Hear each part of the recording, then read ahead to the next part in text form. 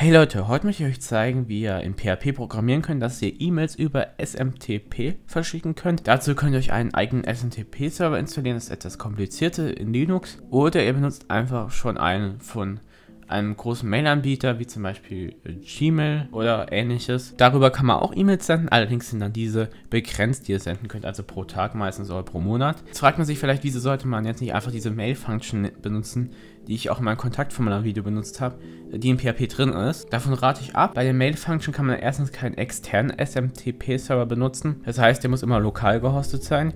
Und ich kann zum Beispiel keine Anhänge ähm, dran machen an die E-Mail oder was auch ein großer Nachteil ist, die kommen oftmals in Spam an und das auch nur, wenn ihr Glück habt. Wenn ihr Pech habt, werden die vom Server ganz abgelehnt. Also ist besser, so einen äh, Mailer zu benutzen. Dazu habe ich den PHP-Mailer ausgesucht. Das ist Open Source. Das könnt ihr euch einfach hier mit Composer oder wie ich es hier machen werde, ganz normal runterladen. Wenn ihr Composer benutzt, könnt ihr einfach den Command eingeben und es installiert sich, ohne dass ihr was tun müsst. Wenn nicht, dann ähm, gehen wir hier bei Releases hin und laden uns hier den Source Code für die neueste Version runter. Dann ziehen wir diesen Source Code hier rein. Ich habe den umbenannten PHP-Mailer, davor stand noch die Version dahinter. Und ich habe hier einen Testanhang, den wir auch noch nachher mitsenden wollen. Wir haben hier ein Formular. In diesem Formular soll man eine Nachricht eingeben und die wieder per E-Mail verschickt. Denn hier auf dieser GitHub-Seite von PHP-Mailer stehen nämlich hier diese Sachen, die wir importieren müssen, wenn wir die Dateien runterladen. So, ich habe hier schon alles eingerichtet. Was passiert, wenn man auf den Button klickt? Da ist noch nichts. Hier oben machen wir mal die Imports rein, also diesen PHP-Mailer. Und hier müssen wir den Pfad angeben. In dem Fall ist es einfach nur PHP-Mailer, weil ihr seht ja, es liegt hier direkt drin in dem Ordner. Und dann können wir schon eigentlich anfangen. Anfangen tun wir nämlich, dass wir uns ein Mail-Objekt erzeugen. Das können wir so nennen, wie wir wollen. Und dann new PHP-Mailer. So. Und dann müssen wir sagen, Mail ist SMTP. Damit er weiß, dass es SMTP ist, macht ja Sinn. Und jetzt müssen wir den SMTP-Server festlegen mit Host. So, und jetzt müsst ihr euch entscheiden, was wollt ihr nehmen. Ich in meinem Beispiel will Yandex hier verwenden. Hier seht ihr den SNTP-Server für Yandex. Ähm, für Google gibt es den ebenfalls, zum Beispiel hier auf der Seite, da steht smtp.gmail.com. Hier stehen auch die anderen Daten, wie zum Beispiel der Port und so. Und dann fügen wir ihn hier ein, den Host. So, und dann müssen wir sagen, dass wir ähm, uns bei diesem SMTP-Server authentifizieren müssen. Das können wir machen mit SMTP out und dann setzen wir es einfach auf True, weil meistens wir müssen uns authentifizieren. So, jetzt lege ich mit Mail Username den Username fest, mit dem wir uns anmelden. In meinem Fall ist es admin tutorialwork.de. Ich kann jetzt hier nichts anderes eingeben, weil sonst gibt es einen Fehler aus, weil ich den nicht habe, aber es macht ja auch gar keinen Sinn, weil ich kann bei Yandex ja einfach eine neue Alias anlegen, also das davor mal nicht. Und bei Gmail, wenn ihr da irgendwas eingibt, das anderes, dann wird es automatisch auf eure E-Mail berichtigt, also auf diese Gmail-Adresse. Es kommt immer auf den SMTP-Server noch ein bisschen an. So, und dann brauchen wir natürlich noch das Passwort. Das können wir mit Passwort setzen und dazu benutzen wir nicht unser Account-Passwort, weder bei Yandex noch bei Google. Ähm, wir müssen hier sogenannte App-Passwörter erstellen. Hier auf der Startseite ähm, kann ich hier ein App-Passwort erstellen, klicke auf Create New Password, sag Mail und gebe dem Ganzen einen Namen, wie ich das nennen will. Ich sage einfach mal Mail, keine Ahnung. So, könnt ihr so nennen, wie ihr wollt. Dann haben wir hier ein sogenanntes App-Passwort. Das kann man jetzt nur für Mails benutzen, aber damit kann man sich nicht in den Account einloggen. Das können wir kopieren und dann hier einfügen. Solltet ihr jetzt aber Google benutzen, könnt ihr einfach auf die Startseite von Google gehen, Google-Konto verwalten klicken.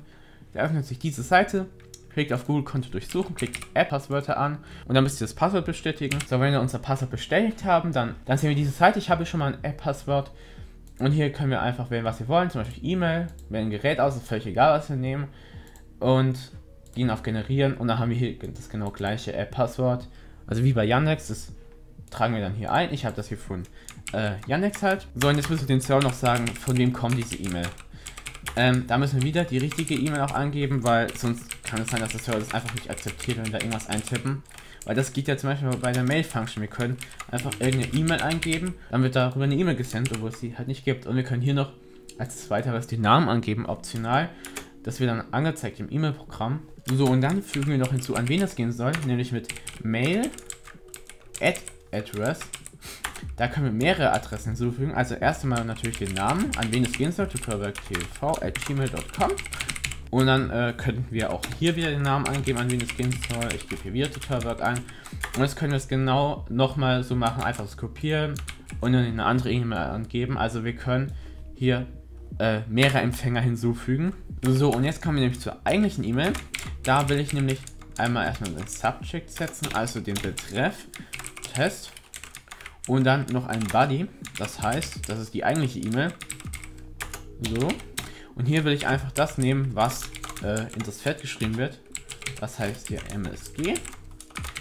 Ähm, so, und jetzt wollen wir überprüfen, ob die E-Mail gesendet wurde. Wenn die Mail gesendet wurde, also wenn das halt true ist, dieser Boolean, dann sagen wir dem User, dein E-Mail wurde verschickt. Wenn das nicht der Fall ist, dann sagen wir einfach, dass es einen Fehler gab. So, und jetzt fügen wir noch hinzu den Fehler, Mail, hier Error Info. Und dann kann das Ganze schon ausprobieren. Würde ich nämlich sagen, wir gehen äh, zurück zu unserem Script, schreiben hier eine Nachricht rein, das ist ein Test, senden und die E-Mail wurde einfach gleich verschickt. Gleich mal ins Postfach reingucken und wir sehen hier auch äh, zweimal eine E-Mail von diesen Anbietern, dass ein App-Passwort erstellt wurde. Und hier oben ist von Tutorialwork Test, das ist ein Test. Wir sehen hier, der Name ist Tutorialwork und an Tutorialwork, das ist dieser Name, den wir hier jeweils angegeben haben. Und hier sehen wir auch, dass von admin-tutorialwork kommt an tutorialworktv.gmail.com. Ja, das ist unsere E-Mail. Aber wir wollen vielleicht nicht nur diese langweiligen E-Mails verschicken, sondern wir wollen vielleicht HTML benutzen, dass wir die formatieren können.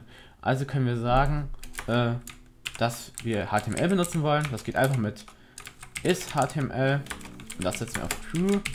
Und jetzt könnten wir auch HTML verschicken. Ich zeige das mal. Ich gehe jetzt noch in dieses Feld, sag Hallo und dann kann ich fett geschrieben Welt machen. So, Hallo Welt, das Welt ist dann fett geschrieben, senden. Die E-Mail wurde verschickt. Und wir sehen hier eine zweite E-Mail, Hallo Welt und das Welt ist fett geschrieben. Und jetzt probieren wir das Ganze mal noch mit einem Anhang aus. Das ist ebenfalls ganz einfach. Der muss hier auf dem Server liegen, anhang.zip. Und dann können wir einen Anhang hinzufügen. Das heißt, ich gehe jetzt hier hin, sage mail.add und dann sage ich die Datei, also wo sie liegt. In meinem Fall liegt sie im Hauptverzeichnis, also nur anhang.zip. Das ist jetzt der Name, wie die Datei auf dem Server heißt.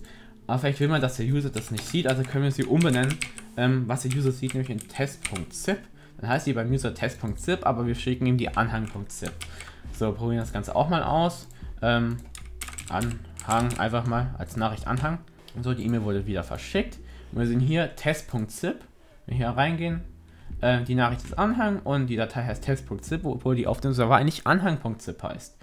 Ich kann hier auch reingehen und hier ist eine Datei drin, ganz normal, wie man es halt kennt von Anhängen. Ja, das war's von diesem Video. Ich hoffe, ich habe euch geholfen. Wenn es euch gefallen hat, freue ich mich natürlich auch immer über ein Like und Abo. Und ich sage, ciao Leute, haut rein.